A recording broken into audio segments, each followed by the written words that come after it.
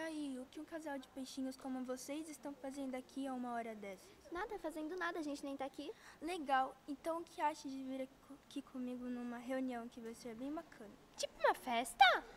É isso aí, uma festa. Então, vamos nessa? Ai, eu adoro festa, acho que vai ser legal. Olha só, a festa é bem legal, é um super convite, mas não dá porque. Ah, o que que há? Eu vou ter que insistir? Ah, tá bem, já que insiste.